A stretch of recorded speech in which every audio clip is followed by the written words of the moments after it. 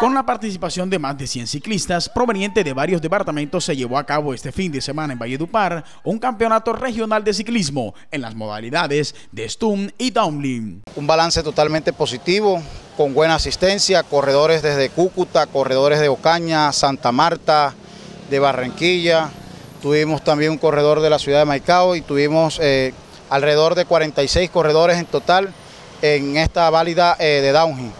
El campeonato tuvo como escenarios varios parques de la capital del Cesar en la modalidad de Stum, donde se dieron cita a los deportistas y aficionados de esta disciplina. Cinco categorías en el tema de downhill, tuvimos la categoría de dama, tuvimos la categoría de élite, de senior, rígido y novatos. Eh, en todas las categorías tenemos eh, el podio con toda la, la transparencia del caso.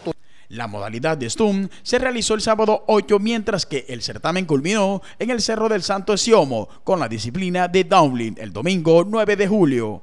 Me sentí muy bueno, estuvo muy bien organizado, sí. La pista estuvo full buena también.